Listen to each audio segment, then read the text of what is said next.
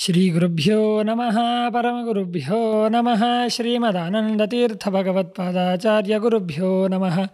व्यासाय भवनाशाय, श्रीशाय गुणराशये, हृद्याय शुद्धविद्याय, मध्वाय च नमो नमः। तपस्वाध्याय शुश्रूषा कृष्णपूजारतं मुनिं विश्वेशमिष्टदं वंदे परिव्राट्चक्रवर्तिनं श्रीगुरुभ्यो नमः। हरिः ओम्। ವೇದ, ಪುರಾಣ, ಉಪನಿಷತ್ತು ಇವುಗಳ ಸಾರ ಏನು? ಪರಮಾತ್ಮನಲ್ಲಿ ಅತೀ ಭಕ್ತಿಯನ್ನು ನಾವು ಮಾಡಿದಾಗ ಅದರಿಂದಾಗಿ ಪರಮಾತ್ಮನ ಪ್ರಸಾದ ಆಗಿ ಮೋಕ್ಷವನ್ನು ಪಡಿತೇವೆ ಅಂಥೇಳಿ ಈಗ ಮುಂದಿನ ಪ್ರಶ್ನೆ, ಆಚಾರ್ಯ, ಈ ಭಕ್ತಿಯನ್ನು ಯಾರು ಮಾಡಬೇಕು ಆಚಾರ್ಯ? ಭಕ್ತಿಯನ್ನು ಮಾಡಲಿಕ್ಕೆ ಇಂತಹ ಜಾತಿ, ಪಂಥ, ಮತ, ಕುಲ ಮೇಲ್ವರ್ಗದವರೇ ಆಗಬೇಕು. ಕೆಳವರ್ಗದವರು ಆಗೋದಿಲ್ಲ. ಇಂತಹ ದೇಶ, ಇಂತಹ ಕಾಲ, ಇಂತಹ ಅವಸ್ಥೆಯಲ್ಲೇ ಇರಬೇಕು. ಇದು ಯಾವುದೇ ಕಟ್ಟುಪಾಡುಗಳಿಲ್ಲದೆ ಯಾರು ಬೇಕಾದರೆ ಎಲ್, ಎನ್, ಯಾವ ದೇಶದ ಮೂಲೆಯಲ್ಲಿ ಇರೋರು ಸಮೇತ ಈ ಭಕ್ತಿಯನ್ನು ಮಾಡ್ಬೋದು ಅನ್ನೋದು ಶಾಸ್ತ್ರದ ನಿರ್ಣಯ. ಮತ್ತು ಇನ್ನೊಂದು, ಈ ಭಕ್ತಿಯನ್ನು ಮಾಡದೇನೆ ಯಾವುದೇ ಕೆಲಸ ಮಾಡಿದರೂ ಕೂಡ ಎಂತಹ ಒಂದು ಬ್ರಾಹ್ಮಣನಾಗಿರ್ಬೋದು, ಅಷ್ಟೆಲ್ಲ ತನ್ನ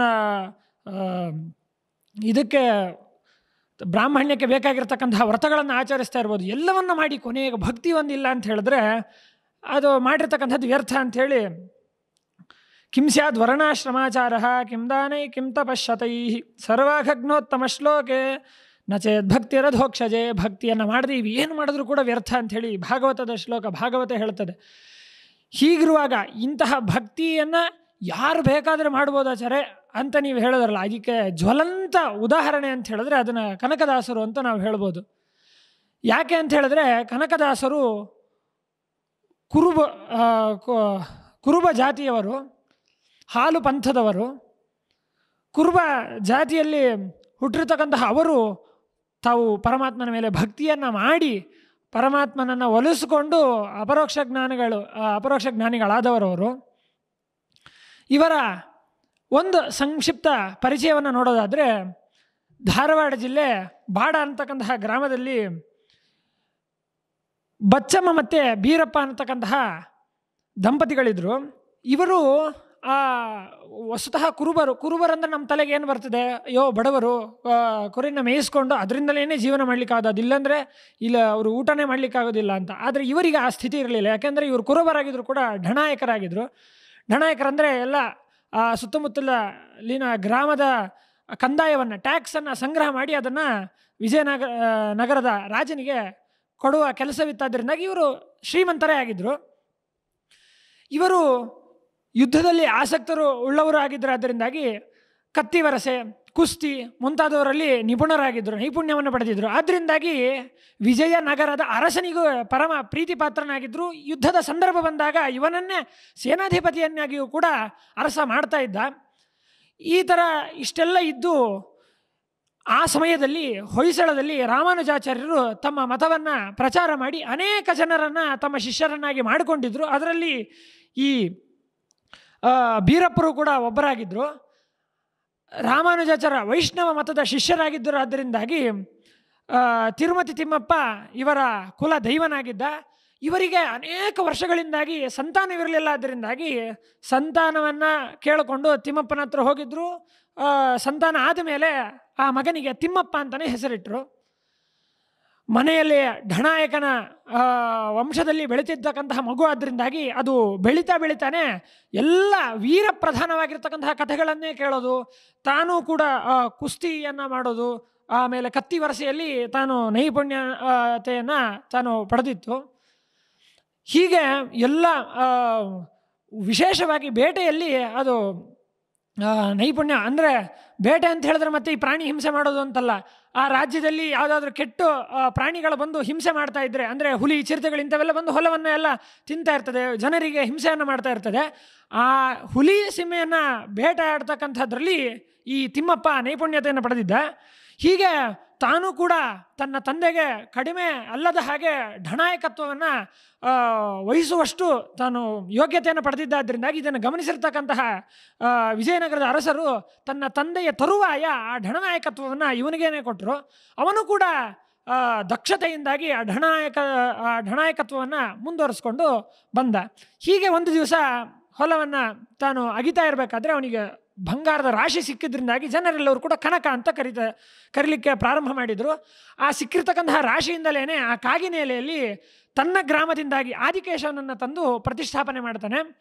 ಆ ದೇವಸ್ಥಾನದ ಕಾರ್ಯಭಾರ್ಯವನ್ನು ಕೂಡ ಭಾರಿ ತುಂಬ ವ್ಯಕ್ತಿತ್ವ ಒಂದು ಜೋರಾದ್ದರಿಂದಾಗಿ ತಿಮ್ಮಪ್ಪ ಭಾರಿ ಜೋರಾಗಿ ಆ ಇದನ್ನು ನಡೆಸ್ತಾ ಇರ್ತಾನೆ. ತಿರು ತಿರುಪತಿಯಲ್ಲಿ ತಿಮ್ಮಪ್ಪನಿಗೆ ಯಾವ ರೀತಿಯಾಗಿ ಷೋಡಶೋಪಚಾರ ಪೂಜೆಗಳಾಗುತ್ತೋ ತತ್ ಸಮಾನವಾಗಿಯೇ ಈ ಆದಿಕೇಶವರಾಯನಿಗೂ ಕೂಡ ಆ ಷೋಡಶೋಪಚಾರ ಪೂಜೆಗಳಾಗಬೇಕು ಅಂತ ಹೇಳಿ ಆದೇಶ ಮಾಡಿರ್ತಾನೆ ಅದರಿಂದಾಗಿ ಅಲ್ಲಿಗೆ ಸಮಾನವಾಗಿರ್ತಕ್ಕಂತಹ ಪೂಜೆಗಳು ಇಲ್ಲೂ ನಡೀತಾ ಇರುತ್ತೆ.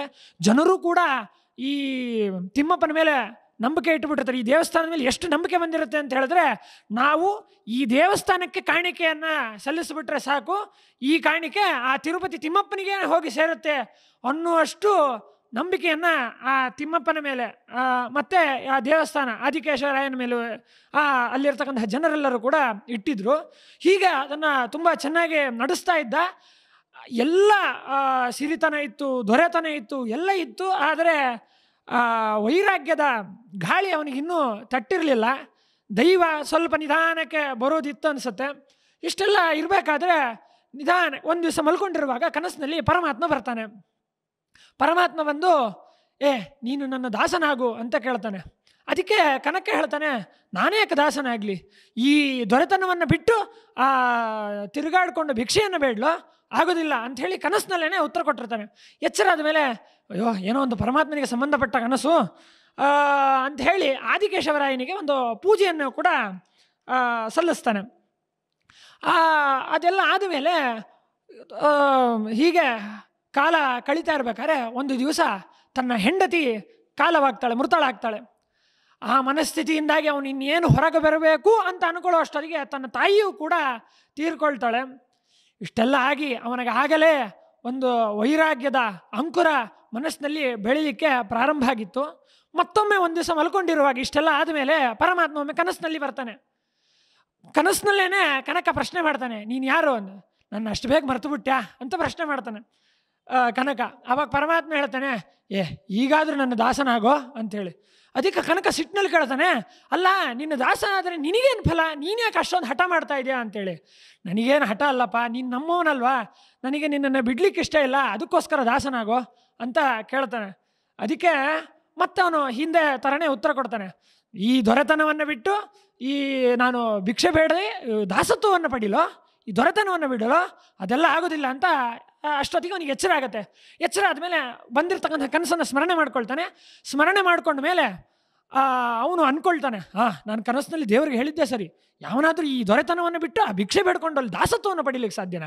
ಅಂತ ಹೇಳಿ ಎಚ್ಚರ ಆದಮೇಲೂ ಸಮೇತ ಅವನು ದಾಸತ್ವವನ್ನು ಪಡಿಲಿಕ್ಕೆ ಸಿದ್ಧ ಇರೋದಿಲ್ಲ. ಸರಿ ಆಯಿತು. ಹರಿ ಇಚ್ಛೆ ಅಂತ ಹೀಗೆ ಕಾಲ ಕಳೀತಾ ಇರುವಾಗ ಒಂದು ದಿವಸ ಅವರ ರಾಜ್ಯಕ್ಕೆ ಶತ್ರುಗಳು ಯುದ್ಧ ಸಾರಿ ಬಂದಾಗ ತಾನು ವೀರನಾಗಿ, ಖಡ್ಗಧಾರಿಯಾಗಿ ಎಲ್ಲರನ್ನು ಕೂಡ ಸಂಹಾರ ಮಾಡಿ ಬರ್ತಾನೆ. ಆದರೆ ದೈವ ಇಚ್ಛೆ ಯಾರಿಗೂ ಕೂಡ ಗೊತ್ತಿರೋದಿಲ್ಲಲ್ಲ. ತಮ್ಮ ರಾಜ್ಯದವರು ಆ ಯುದ್ಧದಲ್ಲಿ ಸೋಲುಣ್ತಾರೆ ಇವನಿಗೂ ಕೂಡ ಬಾಣದ ಗಾಯ ತಗುಲಿ ಮೂರ್ಛೆ ತಪ್ಪಿ ಕೆಳಗೆ ಬೀಳ್ತಾನೆ. ಎಲ್ಲ ಹೆಣದ ರಾಶಿಗಳು ಪಕ್ಕದಲ್ಲಿ ಬಿದ್ದಿದೆ. ಇವನಿಗೂ ಕೂಡ ಬಾಣ ಬಿದ್ದು ಕೆಳಗಡೆ ಬಿದ್ದಿದ್ದಾನೆ. ಮೂರ್ಛೆಯಿಂದ ಬಿದ್ದಿರುವಾಗ ಒಬ್ಬ ಮಾಯಾವಿ ಬರ್ತಾನೆ. ಬಂದು ಅವನ ಅವನನ್ನು ಸ್ಪರ್ಶ ಮಾಡಿದ ಮಾತ್ರಕ್ಕೆ ಅವನಿಗೆ ಮೂರ್ಛೆಯಿಂದ ಎಚ್ಚರ ಆಗುತ್ತೆ. ಆದರೆ ಸುಸ್ತು ಹೋಗಿರೋದಿಲ್ಲ. ಆ ಸುಸ್ತು ಸುಸ್ತಿನಲ್ಲೇ ಮಾತಾಡ್ತಾನೆ. ಅಯ್ಯೋ ಯಾರು? ಯಾರಪ್ಪ ನೀನು? ಅಂತ ಹಂಗೆ ಪ್ರಶ್ನೆ ಮಾಡಿದಾಗ ಅವನು ಹೇಳ್ತಾನೆ ಕನಕ ಇಷ್ಟು ಬೇಗ ಮರ್ತೀಯನೋ ನನ್ನ? ಅಂತ. ಅದಕ್ಕೆ ಮತ್ತೆ ಬಂದೇನೋ? ಯಾಕೋ ಈ ಥರ ಈ ಇಂತಹ ಸ್ಥಿತಿಯನ್ನು ನೋಡಿಯೂ ನೀನು ಮತ್ತೆ ಬಂದು ನನ್ನನ್ನು ದಾಸತ್ವವನ್ನಾಗಿ ಮತ್ತೆ ಕೇಳಲಿಕ್ಕೆ ಬಯಸಿದ್ಯಾ? ಅಂತ ಕೇಳಿದಾಗ "ಆ, ಹಾಗಲ್ವೋ? ಇಷ್ಟೆಲ್ಲ ನಿನ್ನ ಪಕ್ಕಗಳು ಹೆಣದ ರಾಶಿ ಬಿದ್ದಿದೆ. ಇದನ್ನೆಲ್ಲ ನೋಡಿದ ಮೇಲೂ ನೀನು ಮತ್ತೆ ಈ ದೊರೆತನವನ್ನು ಅಪೇಕ್ಷೆ ಪಡ್ತಾ ಇದೆಯಾ? ದಾಸತ್ವವನ್ನು ಬಿಟ್ಟು ಅಂತ ಪ್ರಶ್ನೆ ಮಾಡಿದಾಗ ಈಗ ನಾನು ಗಾಯನಾಗಿದ್ದೇನೆ. ಇದನ್ನೆಲ್ಲ ಯೋಚನೆ ಮಾಡುವಷ್ಟು ಸಮಯ ಇಲ್ಲ. ಬೇಕಂದರೆ ಇದನ್ನೆಲ್ಲ ನನಗೆ ಈ ಗಾಯಗಳನ್ನೆಲ್ಲ ವಾಸಿ ಮಾಡು. ಆಮೇಲೆ ನಾನು ಬೇಕಾದ್ರೆ ಯೋಚನೆ ಮಾಡ್ತೇನೆ ಅಂತ ಹೇಳ್ತಾನೆ. ಹೌದಾ? ನೀನು ಗಾಯನೆಲ್ಲ ವಾಸನೆ, ವಾಸಿ ಮಾಡಿದರೆ ನೀನು ನನ್ನ ದಾಸತ್ವ ಆಗ್ಲಿಕ್ಕೆ ಒಪ್ಕೊಳ್ತೀಯ ಅಂತ ಕೇಳಿದಾಗ, ಹಾಂ, ನೋಡ್ತೀನಿ ಒಟ್ಟು ಗಾಯನ ವಾಸಿ ಮಾಡು ಅಂತ ಹೇಳಿದಾಗ ಅವಾಗ ಪರಮಾತ್ಮ ಅನ್ಕೋತಾನೆ, ಹಾಂ, ಸತ್ತಿರತಕ್ಕಂತಹ ನಿನ್ನನ್ನು ಮುಟ್ಟಿ ಎಬ್ಬಿಸಿದ್ದೀನಿ. ಅಂಥದ್ರಲ್ಲಿ ಈ ಗಾಯನ ಕಡಿಮೆ ಮಾಡೋದ್ರಲ್ಲಿ ಏನಿದೆ? ಅಂತ ಹೇಳಿ ಆ ಒಂದು ಸರ್ತಿ ಪರಮಾತ್ಮ ಮೈನೆಲ್ಲ ಸವರ್ತಾನೆ. ಸವರಿದಾಗ ಕನಕನಿಗೆ ಆದಂತಹ ಗಾಯ ಎಲ್ಲ ಮಾಯುತ್ತೆ. ಆಗ ಪರಮಾತ್ಮ ಮೇಲೆ ದೃಢ ನಂಬಿಕೆ ಬಂದು ಪರಮಾತ್ಮನಿಗೆ ಹೇಳ್ತಾನೆ, ಪರಮಾತ್ಮ, ನನ್ನನ್ನು ರಕ್ಷಣೆ ಮಾಡಿದ್ಯಪ್ಪ. ನಾನು ಇವತ್ತಿನಿಂದ ನಿನ್ನ ದಾಸ. ಆದರೆ ನನಗೊಂದು ಮಾತು ಕೊಡಬೇಕು ಅಂತ. ಆಗ ಪರಮಾತ್ಮನ ಹತ್ರ ಒಂದು ಮಾತು ತಗೊಳ್ತಾನೆ. ಏನಂದರೆ, ನಾನು ನನ್ನ ಹಿಂದೆನೇ ಇರಬೇಕು. ನನ್ನನ್ನು ರಕ್ಷಣೆ ಮಾಡಬೇಕು. ನಾನು ಏನು ಹೇಳಿದ್ರು ಕೂಡ ನೀನು ಮಾಡಿಕೊಡ್ಬೇಕು. ಅಂತ ಹೇಳಿದಾಗ ಪರಮಾತ್ಮ ಹೇಳ್ತಾನೆ, ಆಯಿತು, ನೀನು ಏನು ಹೇಳಿದ್ರು ಕೂಡ ನಾನು ಮಾಡಿಕೊಡ್ತೀನಿ ಅಂತ ಹೇಳ್ತಾನೆ. ಈ ಇಷ್ಟನ್ನು ಹೊರಗಡೆ ದಿನೇಶಿ ಶೇಷವಿಠಲ ದಾಸರು ಅಂತ ಹೇಳಿ ಅವರು ತಮ್ಮ ಪದ್ಯದಲ್ಲಿ ಇದನ್ನು ಹೇಳ್ತಾರೆ. ಆಶಿಸಿದಾಗೀವಿ ಸೂಸಿಲಿ ದರ್ಶನ, ದಾಸ ನೀನಾಗೇಳೆಂದು ಶೀಶನೇ ಬೆಂಬೆತ್ತಿ ದಾಸ ದೀಕ್ಷೆಯ ಕೊಡಿಸಿ, ತಾಸೇವೆ ಕೊಂಡವನ ನಿಜ ಜವನ. ಅಂದರೆ ತಾನೇ ದಾಸನಾಗು, ಆಗು ಅಂತ ಹೇಳಿ ಅಷ್ಟು ಬೆಂಬಿಡದೆ ಅವನನ್ನು, ಆ ದಾಸತ್ವವನ್ನು ಪಡೆದಿರ್ತಕ್ಕಂಥವನು ಅಂಥೇಳಿ ಇನ್ನೊಬ್ಬರು ಜಯೇಶ ವಿಠಲದಾಸರು ಅಂತ ಅವರು ಕೂಡ ವಾಸುದೇವನೇ ತನ್ನ ದಾಸನಾಗೆಂದಿವರ ಭಾಷೆ ಪಡೆದ ಮೇಲೆ ದಾಸರಾದವರಿವರು ಅಂಥೇಳಿ. ಅಂದರೆ ಭಾಷೆಯನ್ನು ಪಡೆದ ಮೇಲೆ ದಾಸರಾದವರು, ನನ್ನ ದಾಸನಾಗುವಂಥ ಭಾಷೆ ಪಡೆದ ಮೇಲೆ ದಾಸರಾದವರು ಇವರು ಅಂಥೇಳಿ ಜಯೇಶ ಜಯೇಶ ವಿಠಲ ದಾಸರು ಕೂಡ ಇದನ್ನೇ ಹೇಳ್ತಾರೆ. ಸರಿ, ಇಷ್ಟೆಲ್ಲ ದಾಸ ಆಗಿ ಇನ್ನೇನು ಕಳೀತಾ ಇರಬೇಕಾದ್ರೆ ನಮ್ಮ ಶಾಸ್ತ್ರದಲ್ಲಿ ಒಂದು ಮಾತಿದೆ.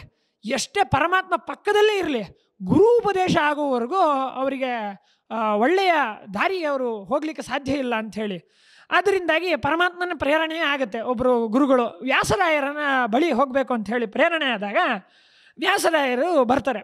ಈಗ ಅಲ್ಲಿ ಸಂದರ್ಭ ಏನಾಗ್ತಿತ್ತು ಅಂತ ಹೇಳಿದ್ರೆ ವ್ಯಾಸರಾಯರು ಒಂದು, ಅವರು ಉಳ್ಕೊಂಡಿರ್ತಕ್ಕಂತಹ ಊರಿನ ಒಂದು ದೊಡ್ಡ ದಾರಿಗೆ ಅಡ್ಡವಾಗಿ ಇದೊಂದು ದೊಡ್ಡ ಬಂಡೆ ಅದು ಎಷ್ಟು ಜನರು, ಒಂದು ಮೂವತ್ತು, ನಲವತ್ತು ಜನರು ಅದು ಪ್ರಯತ್ನ ಪಡ್ತಿದ್ರು ಕೂಡ ಆ ಬಂಡೆಯನ್ನು ಎತ್ತಲಿಕ್ಕೆ ಆಗ್ತಾ ಇಲ್ಲ. ವ್ಯಾಸರಾಯರಿಗೆ ಇದೆಲ್ಲ ಮುಂದೆ ನಡೆಯೋದೆಲ್ಲ ಗೊತ್ತು. ಆದರೆ ಅಲ್ಲಿ ಗೊತ್ತಿಲ್ಲದವ್ರು ಇರ್ತಾರೆ ಅಯ್ಯೋ, ಈ ಬಂಡೆಯನ್ನು ಹೇಗೆ ಇವಾಗ ಹೇಗೆ ಇದನ್ನೆಲ್ಲ ತೆಗೆದು ಪಕ್ಕಕ್ಕೆ ಇಡೋದು ಹೇಗೆ ಇಲ್ಲೆಲ್ಲ ದಾರಿ ಮಾಡೋದು ಅಂತ ಯೋಚನೆ ಮಾಡಿ ಕೂತಿರುವಾಗ ಕನಕನಿಗೆ ಆಗಲೇ ಪ್ರೇರಣೆ ಆಗಿತ್ತು ವ್ಯಾಸರಾಯರ ಹತ್ರ ಹೋಗ್ಬೇಕಂತ ಹೇಳಿ ಬರ್ತಾನೆ ಅಲ್ಲಿ. ಬಂದು ಅಲ್ಲೇ ಆ ದಾರಿಗೆ ಅಡ್ಡ ಬಂಡೆ ಇರ್ತಾ ಇದ್ರಿಂದ ಬಂಡೆ ಮೇಲೇ ನಿಂತು ಕೆಳಗಿರ್ತಕ್ಕಂಥ ವ್ಯಾಸರಾಯರಿಗೆ ಪ್ರಶ್ನೆ ಮಾಡ್ತಾನೆ. ಬಂದು ಕೂಡಲೇ ವ್ಯಾಸರಾಯರು ಕೇಳ್ತಾನೆ, ಯಾರಪ್ಪ ನೀನು? ಅಂತೇಳಿ. ನಾನು ಕನಕ ಅಂತ ಉತ್ತರ ಕೊಡ್ತಾನೆ. ಅದಕ್ಕೆ, ಓ ಢಣನಾಯಕ ಕನಕನೋ? ಅಂಥೇಳಿ. ಢಣನಾಯಕನಲ್ಲ ಬರೀ ಕನಕ ಅಂತ ಉತ್ತರ ಕೊಡ್ತಾನೆ. ಅದಕ್ಕೆ ಯಾಕೆ ಬಂದಿದ್ದಿ? ಅಂತ ಕೇಳಿದಾಗ, ಸ್ವಾಮಿ, ಮಂತ್ರೋಪದೇಶಕ್ಕೆ ಸ್ವಾಮಿ ಅಂತ ಹೇಳ್ತಾನೆ. ಆಗ, ಓ, ಮಂತ್ರ, ಮಂತ್ರೋಪದೇಶವೋ? ಯಾವ ಮಂತ್ರ? ಕೋಣ ಮಂತ್ರವೋ? ಅಂತ ಹೇಳ್ತಾನೆ. ಆಜ್ಞೆ ಮಹಾಸ್ವಾಮಿ ಅಂತ ಅಂದರೆ ಅವನು ಮಂತ್ರೋಪದೇಶ ಅಂತ ಹೇಳಿದ್ರೆ ಕೋಣ ಅಂತಕ್ಕಂಥ ಮಂತ್ರವೇನೇ ಉಪದೇಶ ಅಂತ ತಿಳ್ಕೊಂಡು ಬಿಡ್ತಾನೆ ಅವರೆಲ್ಲ ಜ್ಞಾನಿಗಳು. ಇರಲಿ, ಅವರು ಉಪದೇಶ ಕೊಟ್ಟಾಗ ಇವನು ಒಂದು ಕನಕದಾಸರು ಒಂದು ಮರದ ಕೆಳಗೆ ಬಂದು ಕೂತ್ಕೊಂಡು, ಆ, ಕೋಣ ಕೋಣ ಅಂತ ಸ್ಮರಣೆ ಮಾಡ್ತಾರೆ. ಸ್ಮರಣೆ ಮಾಡಿದಾಗ, ಆ ಯಮನ ವಾಹನವಾಗಿರ್ತಕ್ಕಂತಹ ಕೋಣ ಅಲ್ಲಿಗೆ ಪ್ರತ್ಯಕ್ಷವಾಗತ್ತೆ. ಸ್ವಾಮಿ ಆಗ್ನೇಯ ಸ್ವಾಮಿ ಅಂತಾನೆ. ಏನು ಕನಕ ಅಂತ ಕೇಳಿದಾಗ, ಸ್ವಾಮಿ, ನೀವು ಕೋಣಮಂತ್ರದ ಉಪದೇಶ ಕೊಟ್ಟಿದ್ರಿ, ಅದನ್ನು ಸಿದ್ಧಿಸಿಕೊಂಡು ಕೋಣವನ್ನು ಕರೆದಿದ್ದೀನಿ ಸ್ವಾಮಿ ಅಂತ. ಹೌದಾ? ಆ ಕೋಣನಿಗೆ ಆದೇಶ ಮಾಡಿ ಈ ಬಂಡೆಯನ್ನು ತೆಗಿಲಿಕ್ಕೆ ಹೇಳು ಅಂತ ಹೇಳಿದಾಗ, ಆ ಪರ್ವತಾಕಾರದಲ್ಲಿ ಇರತಕ್ಕಂತಹ ಕೋಣ ಕೆಲವೇ ಸೆಕೆಂಡ್ನಲ್ಲಿ ಆ ಬಂಡೆ ಕಲ್ಲನ್ನು ತೆಗೆದು ಪಕ್ಕದಲ್ಲಿ ಇಡುತ್ತೆ. ಈಗ ಪ್ರಶ್ನೆ ಏನು? ಯಾಕೆ ಯಮದೇವ್ರ ವಾಹನವಾಗಿರ್ತಕ್ಕಂತಹ ಕೋಣ ಕನಕ ಆಜ್ಞೆ ಮಾಡಿದಾಗ ಬಂದು ಆ ಫಸ್ಟ್ ಆ ಮೊದಲಿಗೆ ಆ ಮಂತ್ರವನ್ನು ಸಿದ್ಧಿಸಿಕೊಂಡಾಗ ಆ ಕೋಣ ಯಾಕೆ ಬಂತು? ಯಾಕೆ ಆ ಬಂಡೆಯನ್ನು ಪಕ್ಕದಲ್ಲಿ ಇಡ್ತು ಅಂತ ಹೇಳಿದ್ರೆ ಅದಕ್ಕೆ ಉತ್ತರ ನಮಗೆ ಕನಕದಾಸರೇ ತಮ್ಮ ಉಗಾಭೋಗದಲ್ಲಿ ಬರೆದುಕೊಂಡಿದ್ದಾರೆ. ಅದರಿಂದಾಗಿ ನಮಗೆ ಉತ್ತರವನ್ನು ಸಿಗುತ್ತೆ. ಏನಂತ ಹೇಳಿದ್ರೆ, ಅವರು ಹೇಳಬೇಕಾದ್ರೆ ವ್ಯಾಸರಾಯರಿಗೆ ಮೂರು ಜನ್ಮ, ದಾಸರಿಗೆ ಎರಡು ಜನ್ಮ. ಶ್ರೀ ವ್ಯಾಸರಾಯರೇ ರಾಘವೇಂದ್ರರಾಯರು ರಾಮಚಂದ್ರನ ಆಶ್ರಿತ ಜನ ಕೋಟಿಯೊಳಗೆ ಉತ್ಕೃಷ್ಟರಾದರು. ನಾರದರ ಅಂಶವೇ ಪುರಂದರದಾಸರು. ತಮ್ಮ ಕೂಸಾದ ಭೃಗುಮುನಿಯಲ್ಲಿ ತಾವು ಒಂದಂಶದಿ ನಿಂದು ವಿಜಯದಾಸರೆಂದು ಪೆಸರು ಪಡೆದ. ನಾ ಯಮನು ಮುಂದೆ ಮಾಂಡವ್ಯ ಶಾಪದಿಂದ ಎರಡು ಜನ್ಮ ಶೂದ್ರಯೋನಿಯಲ್ಲಿ ಪೊಕ್ಕೆನಲು, ಒಂದು ಜನ್ಮ ವಿದುರನಾಗಿ ಕುರುಬರ ಕುಲದಲ್ಲಿ ಈಗ ಪುಟ್ಟಿದೆ ಅಂಥೇಳಿ ಹೀಗೆ ಮುಂದೆ ಆ ಉಗಾಭೋಗವನ್ನು ಮುಂದುವರಿಸ್ತಾರೆ. ಅಂತೂ ನಾ ಯಮನ, ಅವರೇ ಸ್ಪಷ್ಟವಾಗಿ ಹೇಳಿದ್ದಾರೆ, ನಾನು ಯಮನ, ಯಮನಾಗಿ ಮುಂದೆ ಮಾಂಡವ್ಯರ ಶಾಪದಿಂದಾಗಿ ಎರಡು ಜನ್ಮ ಶೂದ್ರರಲ್ಲಿ ಬರಬೇಕಾಗಿತ್ತು. ಅದರಲ್ಲಿ ಒಂದು ಜನ್ಮ ವಿದುರನಾಗಿ, ಮತ್ತೊಂದು ಜನ್ಮ ಈ ಕುರುಬನಾಗಿ ಈಗ ಹುಟ್ಟಿದ್ದೇನೆ ಅಂತೇಳಿ ಸ, ಯಮನ ಅಂಶದಿಂದಲೇ ಬಂದಿರತಕ್ಕಂಥವರಾದ್ದರಿಂದಾಗಿ ತಮ್ಮದೇ ವಾಹನವಾಗಿರ್ತಕ್ಕಂಥ ಕೋಣಕ್ಕೆ ಅವರು ಆದೇಶ ಮಾಡಿದಾಗ ಕೋಣ ಬಂದು ತೆಗೆದಿಟ್ಟು ಅನ್ನೋದರಲ್ಲಿ ಏನೂ ಆಶ್ಚರ್ಯವಿಲ್ಲ ಅಂತ.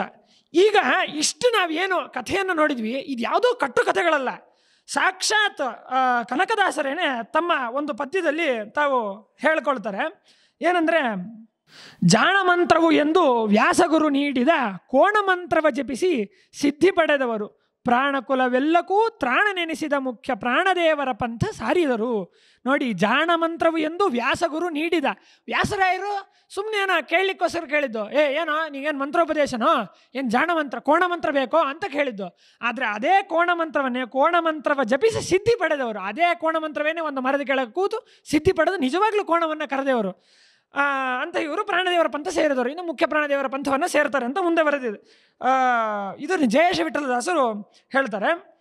ಇಷ್ಟು ನಾವೇನು ಹೇಳಿದೆ, ಈಗ ಇಷ್ಟು ಕಥೆಗಳನ್ನು ಕೂಡ ನಾವು ವ್ಯಾಸರಾಯರ ಶಿಷ್ಯತ್ವವನ್ನು ಪಡೆದಿದ್ರು, ಮಾಡಿದ್ರು ಅಂಥೇಳಿ ಅದನ್ನು ವ್ಯಾಸರಾಯರು ಪೇಳೆ ಶ್ರೀಶನ್ನ ಕರೆಯಲು. ಹರಿ ನಿನ್ನ ಪಾದಕವಲ ಕರುಣದಿಂದಲಿ ನನಗೆ ದೊರಕಿತೆ ಗುರು ಸೇವೆ ಹರಿಯೇ ಅಂಥೇಳಿ. ಇದರಲ್ಲಿ ಹೇಳಬೇಕಾದ್ರೆ ಕನಕದಾಸರು ಹರಿನಿನ್ನ ಪದಕಮಲ, ಕರುಣದಿಂದಲೇ ನನಗೆ ದೊರಕಿದೆ ಗುರು ಸೇವೆ ಹರಿಯೇ. ಗುರುಮಂತ್ರ ಮೂಲ ಸದ್ಗುರು ಮೂರ್ತಿ ನೀನಾಗಿ ಬಳಿಯ ಸೇರಿಸಿದೆ ಹರಿಯೇ ಅಂತ ಹೇಳಿ ಮೊದಲು ನಿನ್ನ ಪದೇಶ ಕೆದರುಸಿ ಕೆದರಿಸಿ ತಿರುಗೆ. ನೀ ಅದನ್ನೆಲ್ಲ ಕ್ಷಮಿಸಿದೆಯೋ ಹರಿಯ. ಅಂದರೆ ಮೊದಲು ನೀನೇಗೆ ಬಂದಷ್ಟೆಲ್ಲ ಕೇಳಿದಿ, ಮಾಡಿದಿ, ಆದರೂ ಕೂಡ ನಾನು ಬರಲಿಲ್ಲ. ಅದನ್ನೆಲ್ಲ ಕ್ಷಮಿಸ್ದಿ ನೀನು. ಸುದತಿ ಮಕ್ಕಳ ಮೋಹ ಮದವೀರಿ ನಾನಿರಲು ಪದುಮಾಕ್ಷ ನೀ ಬಂದು ಪದೋ ಪದಗೆ ಸಾರಿದೆಯೋ. ನೀನು ಪದೇ ಪದೇ ಪದೇ ಬಂದು ನನ್ನ ಭ್ರಾಸತ್ವನ ಪಡಿ ಪಡಿ ಪಡಿ ಅಂತೇಳಿ ನೀನು ಅಷ್ಟು ಸರ್ತಿ ಕೇಳ್ಕೊಂಡಿ ಅಂತ ಹೇಳಿ ಆಮೇಲೆ ಹರಿಗಳು ದಂಡೆತ್ತಿ ಬರಲು. ಹರಿಗಳಂದರೆ ಶತ್ರುಗಳು. ಅವರೆಲ್ಲ ದಂಡೆತ್ತಿ ಬರಲು. ನಾನು ಅವರೊಡನೆ ಪರಿಪರಿ ಹೋರಾಡುತ್ತಿರಲು. ನಾನು ಅಷ್ಟೆಲ್ಲ ವೀರತ್ವದಿಂದಾಗಿ ಹೋರಾಡಿದರೂ ಕೂಡ ಆ, ದುರುಳರನ್ನನು ಜಯಿಸಿ ಹರೆದಟ್ಟೆ ಬಂದೆನ್ನ. ಅಷ್ಟೆಲ್ಲ ಆದರೂ ಕೂಡ ಅವರು ಪ್ರಬಲರಾಗಿದ್ದಾರೆ ಅವರು ನನ್ನನ್ನು ಜಯಿಸಿದ್ರು. ಆಮೇಲೆ ಧರಗುರುಳಿಸಿದೆಯೋ ಹರಿಯೇ. ಇವ್ರು ಹೇಳೋದು ನೋಡಿ, ಅಷ್ಟೆಲ್ಲ ಭಕ್ತಿಯನ್ನು ಪಡೆದ ಮೇಲೆ ಶತ್ರುಗಳು ನಮ್ಮನ್ನು ಧರೆಗೊಳಿಸೋದಲ್ಲ, ಪರಮಾತ್ಮನೇ ಅಂತ ಹೇಳಿ ಇವರ ಅನುಸಂಧಾನ. ಅಂತೂ ಪರಮಾತ್ಮನೇ ಧರೆಗೊಳಿಸ್ದಿ. ಅಷ್ಟು ನನಗೆ ಹಿಂಗೆ ಮುಂದುವರಿಯುತ್ತೆ. ಅಂತೂ ಹೇಳಿ ಕೊನೆಗೆ ಹೇಳ್ತಾರೆ ಅವರು, ನೀರು ಶುಕ್ತಿಯ ಸೇರಿ, ಥೋರ ಮುತ್ತಾದ ಪರಿ ಸೇರಿಸೋ ನಿನ್ನಂಗ್ರಿ ಹರಿಯೇ. ಹೇಗೆ ನೀರು ಕಪ್ಪೆ ಚಿಪ್ಪೊಳಗೆ ಸೇರಿಕೊಂಡು ಅದು ತಾನು ಮುತ್ತಾಗತ್ತೋ, ಹಾಗೆ ನಿನ್ನ ಪಾದ ಕಮಲವೆಂಬಂತಹ ಕಪ್ಪೆ ಚಿಪ್ಪಿನಲ್ಲಿ ಸೇರಿಸಿ ಈ ಜೀವವನ್ನು ಕೂಡ ಮುತ್ತಾಗಿಸು ಅಂತ ಹೇಳಿ ಕೇಳಿಕೊಂಡು ಕೊನೆಗೆ ಹರಿಗಂಜುವನಲ್ಲ ಅಧಿಕ ಪುರಿ ಕಾಗಿ ನೆಲೆಯಾದಿ ಕೇಶವರಾಯನಾದ ಶ್ರೀಹರಿ ಅಂತ ಹೇಳಿ ಸಾಕ್ಷಾತ್ ಕನಕದಾಸರೇ ತಮ್ಮ ಪದ್ಯದಲ್ಲಿ ತಾವು ವ್ಯಾಸರಾಯರ ಶಿಷ್ಯತ್ವವನ್ನು ಹೇಗೆ ಪಡೆದರು ಅನ್ನುವ ಒಂದು ವೃತ್ತಾಂತವನ್ನು ಈಗ ನಾವು ಇಷ್ಟೊಂದು ಏನು ಕತೆ ಹೇಳಿದ್ವಿ, ಅದರ ವೃತ್ತಾಂತವನ್ನು ತಾವೇ ತಮ್ಮ ಪದ್ಯದಲ್ಲಿ ತಿಳಿಸಿರೋದನ್ನು ನಾವು ಕಾಣ್ಬೋದಾಗಿದೆ. ಸರಿ, ಇಷ್ಟೆಲ್ಲ ಅವರು ವ್ಯಾಸತ್ವ, ವ್ಯಾಸರಲ್ಲಿ ಶಿಷ್ಯತ್ವವನ್ನು ಪಡೆದ ಮೇಲೆ ಕೆಲವೊಂದು ಘಟನೆಗಳನ್ನು ನಡೆಯುತ್ತೆ. ಅದರಲ್ಲಿ ಒಂದು ಎರಡು ಘಟನೆಗಳನ್ನು ನಾನೀಗ ನಿಮಗೆ ನಿಮ್ಮ ಮುಂದೆ ಇಡ್ತೇನೆ.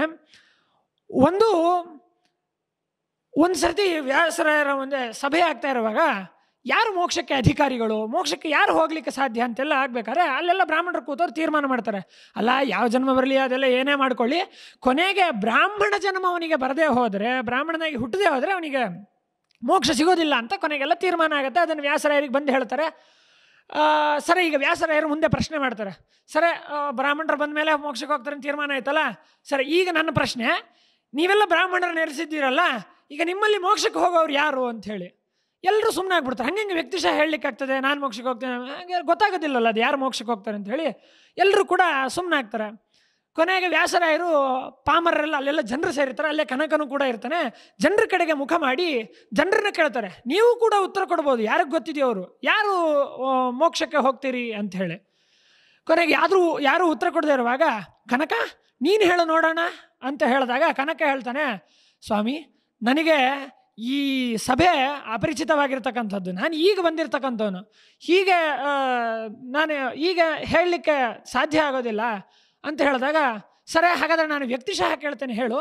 ನೋಡು, ಇವರು ಚತುರ್ವೇದಗಳನ್ನು, ಎಲ್ಲ ಅಂಗಗಳ ಸಹಿತವಾಗಿರ್ತಕ್ಕಂಥ ಷಡಂಗ ಸಹಿತವಾಗಿರ್ತಕ್ಕಂತಹ ಚತುರ್ವೇದಗಳನ್ನು ಅಧ್ಯಯನ ಮಾಡಿರ್ತಕ್ಕಂತಹ ಪಂಡಿತರಿವರು ಇವರು. ಮೋಕ್ಷಕ್ಕೆ ಹೋಗ್ತಾರೋ ಅಂತ ಕೇಳಿದಾಗ, ಇಲ್ಲ ಸ್ವಾಮಿ ಅಂತನು, ಅವಾಗ ಅವರಿಗೆ ಅಷ್ಟು ಸಭೆಯಲ್ಲಿ ಅವಮಾನ ಮಾಡಿದ್ನಲ್ಲ ಅಂತ, ಮೋಕ್ಷಕ್ಕೆ ಇಷ್ಟೆಲ್ಲ ವೇದಗಳನ್ನು ಅಧ್ಯಯನ ಮಾಡಿದ್ರು ನಾನು ಹೋಗೋದಿಲ್ಲ ಅಂತ ಹೇಳ್ತಾನಲ್ಲ ಅಂತ. ಸರಿ, ಇನ್ನು ನೆ ಮುಂದಿನವರಿಗೆ, ಇವರು ಎಲ್ಲ ದರ್ಶನಗಳನ್ನು ಕೂಡ ಅಧ್ಯಯನ ಮಾಡಿದ್ದಾರೆ. ಇವರು ಹೋಗ್ತಾರೋ? ಇಲ್ಲ ಸ್ವಾಮಿ ಅಂತ ಹೇಳ್ತಾನೆ. ಪುರಂದರದಾಸರು ಅಲ್ಲೇ ನಿಂತಿರ್ತಾರೆ. ಪುರಂದರದಾಸರನ್ನು ತೋರಿಸಿ, ಇವರು ಹೋಗ್ತಾರೋ? ಇಲ್ಲ ಸ್ವಾಮಿ ಅಂತ ಹೇಳ್ತಾನೆ. ಕೊನೆಗೆ ಅವರನ್ನೇ ತೋರಿಸ್ಕೊಂಡು ನಾವು ಹೋಗ್ತೀವ? ಇಲ್ಲ ಸ್ವಾಮಿ ಅಂತ ಹೇಳ್ತಾನೆ. ಕೊನೆಗೆ ಕನಕ ಕನಕ, ಯಾರನ್ನು ತೋರಿಸಿದ್ರು ಇಲ್ಲ ಅಂತಿದೆಯಲ್ಲ? ಹಾಗಾದ್ರೆ ಯಾರು ಮೋಕ್ಷಕ್ಕೆ ಹೋಗ್ತಾರೆ ಅಂತ ಹೇಳಿದಾಗ ಅವನು ಒಂದು ಕನಕ ಒಂದು ಮಾತು ಹೇಳ್ತಾನೆ ನಾ ಹೋದರೆ ಹೋದೇನು ಅಂತ ಹೇಳು. ಆಗ ಅಲ್ಲಿದ್ದ ಬ್ರಾಹ್ಮಣರಿಗೆಲ್ಲ ಸಿಟ್ಟು ಬರ್ತದೆ. ನಾ ಅಷ್ಟು ಶಾಸ್ತ್ರಗಳನ್ನು ನೋಡಿದ ಪಂಡಿತರು ಹೋಗಲ್ಲ, ಮಹಾಸ್ವಾಮಿಗಳು ಹೋಗಲ್ಲ, ಸಾಕ್ಷಾತ್ ಅಪರೋಕ್ಷ ಜ್ಞಾನಿಗಳಂತ ಕರೆಸ್ಕೊಳ್ಳೋಂಥ ಪುರಂದ್ರದಾಸರು ಹೋಗಲ್ಲ. ಇವನು ಯಾವುದೋ ಸಾಮಾನ್ಯ ಕುರುಬ ಜಾತಿಯವ, ನಾ ಹೋದರೆ ಹೋದೇನು. ಎಷ್ಟು ಸೊಕ್ಕಿರ್ಬೇಕು ಇವನಿಗೆ. ಇಷ್ಟು ಸಭೆಯಲ್ಲಿ ಬ್ರಾಹ್ಮಣರಿಗೆ ಅವಮಾನ ಮಾಡಿ, ಈ ಜಾತಿಯವನು ನಾ ಹೋದರೆ ನಾನು ಹೋಗ್ತೇನೆ ಅಂತ ಹೇಳ್ತಾ ಇದ್ದಾನಲ್ಲ ಇವನು. ಅಂಥೇಳಿ ಅಷ್ಟೆಲ್ಲ ಸಿಟ್ಟು ಮಾಡ್ಕೊಳ್ತಾರೆ. ಆಗ ಕನಕ ಒಂದು ಮಾತು ಹೇಳ್ತಾನೆ, ಸ್ವಾಮಿ, ನಾನು ಯಾವ ಬ್ರಾಹ್ಮಣರಿಗೆ ಅವಮಾನ ಮಾಡ್ತಲ್ಲ, ಸ್ವಾಮಿಗಳಿಗೆ ಅವಮಾನ ಮಾಡ್ತಲ್ಲ, ನನ್ನ ಮಾತು ನಿಮಗೆ ಅರ್ಥ ಆಗಿಲ್ಲ ಅಂತ. ಅದಕ್ಕೆ ಅವರೆಲ್ಲ ಹೇಳ್ತಾರೆ, ಇನ್ನೇನು ಅರ್ಥ ಆಗೋದು? ಅದರಲ್ಲಿ ಇನ್ನೇನು ದೊಡ್ಡ ಅದಕ್ಕೇನು ವ್ಯಾಖ್ಯಾನ ಬರಿಬೇಕಾ? ಅದೇನು ದೊಡ್ಡ ಬ್ರಹ್ಮಸೂತ್ರದ ವ್ಯಾಖ್ಯಾನ ಅದು? ನಾ ಹೋದರೆ ಹೋದೇನು, ಕನ್ನಡದಲ್ಲಿ ಸ್ಪಷ್ಟವಾಗಿ ಹೇಳಿದೆ. ಅದಕ್ಕೆ ಅದಕ್ಕೆ ಇನ್ನೇನು ಅರ್ಥ ಅಂತ ಹೇಳಿದಾಗ, ಇಲ್ಲ ಸ್ವಾಮಿ, ನಾ ಹೋದರೆ ಹೋದೇನು ಅಂದರೆ, ನಾನು ಅನ್ನೋದು ಮನುಷ್ಯನಿಗೆ ಯಾವಾಗ ಹೋಗ್ತದೋ ಆವಾಗ ಹೋಗುತ್ತೆ. ಅದು ನಾನಾಗಿರ್ಬೋದು, ಪುರಂದರದಾಸರಾಗಿರ್ಬೋದು, ಸ್ವಾಮಿಗಳಾಗಿರ್ಬೋದು, ಚತುಶಾಸ್ತ್ರ ಪಂಡಿತರಾಗಿರ್ಬೋದು. ನಾನು ಅನ್ನೋವರೆಗೂ ಅನ್ನೋದು ಎಲ್ಲಿವರೆಗೂ ಎಲ್ಲರ ಭಾವನೆಯೊಳಗಿರುತ್ತೋ ಅಲ್ಲಿವರೆಗೂ ಮೋಕ್ಷಕ್ಕೆ ಹೋಗ್ಲಿಕ್ಕಾಗೋದಿಲ್ಲ. ನಾನಲ್ಲ, ನಾ ಹಂಕರ್ತ ಹರಿಕರ್ತ ಅನ್ನುವ ಭಾವನೆ ಬಂದಾಗ ಮಾತ್ರ ಸ್ವಾಮಿ ಪರ ಮೋಕ್ಷಕ್ಕೆ ಹೋಗೋದು ಅಂತ ಹೇಳಿದಾಗ, ಯಪ್ಪ, ಇಂತಹ ಒಂದು ಚಿಕ್ಕ ಕನ್ನಡದಲ್ಲಿ ಇರ್ತಕ್ಕಂಥ ವಾಕ್ಯಕ್ಕೂ ಕೂಡ ಇಷ್ಟು ದೊಡ್ಡ ಅರ್ಥ ಇದೆ ಅಂತ ಪಂಡಿತರಿಗೆಲ್ಲ ಬೆರಗಾಗತ್ತೆ. ಆಮೇಲೆ ಒಂದು ಚಿಕ್ಕ ವಾಕ್ಯ ಅರ್ಥ ಆಗುತ್ತೆ. ಅಲ್ಲ ನಾವು ಹೋದರೆ ಅಂದರೆ ನಾನು ಅನ್ನೋದು ಹೆಂಗೆ ಹೋಗುತ್ತೆ? ನಾನು ಅನ್ನೋದು ಎಲ್ಲ ಇದ್ದೇ ಇರುತ್ತಲ್ಲ ಅಂದರೆ, ನಾನು ಅಂದರೆ ನಾನು ಅನ್ನೋ ಅಹಂಕಾರ. ನಾನು ಯಾವತ್ತೂ ಹೋಗಲ್ಲ. ನಾನು ಯಾವತ್ತು, ನಾನು ಇದ್ದೇ ಇರ್ತೀವಿ. ನಾವು ಆತ್ಮ ಅನ್ನೋದು ಇದ್ದೇ ಇರುತ್ತೆ. ಆತ್ಮ ಯಾವತ್ತು ನಾಶ ಆಗಲ್ಲ. ನಾನು ಅಂದರೆ ನಾನು ಅಂತ ಅಹಂಭಾವ ಹೋಗೋದು ಅಂತ ಅವ್ರ ಅಭಿಪ್ರಾಯ ಅಂತ ಆಮೇಲೆ ಚರ್ಚೆ ಮುಂದುವರಿಯುತ್ತೆ. ಇಷ್ಟೆಲ್ಲ ಹೇಳಿದಾಗ ಕನಕದಾಸರ ಮೇಲೆ ಅವರಿಗೆ ಇವರು ಎಂತಹ ಜ್ಞಾನಿಗಳಂತ ಗೊತ್ತಾಗುತ್ತೆ. ಎಷ್ಟೇ ಆದರೂ ಕೂಡ ಅವರು ಕೆಳ ಜಾತಿಯವರು ಅಂತ ಹೇಳಿ ಈ ಎಲ್ಲ ಬ್ರಾಹ್ಮಣರು ಕೂಡ ಅವರನ್ನು ತುಳಿಯೋದು ಮಾತ್ರ ಬಿಡ್ತಾ ಇರಲ್ಲ, ಇವರನ್ನು ವ್ಯಾಸರು ಸೇರಿಸಿದ್ರು ಅಂತ ಹೇಳಿ ದ್ವೇಷ ಮಾಡೋದನ್ನು ಮಾತ್ರ ಬಿಡ್ತಾ ಇರಲ್ಲ.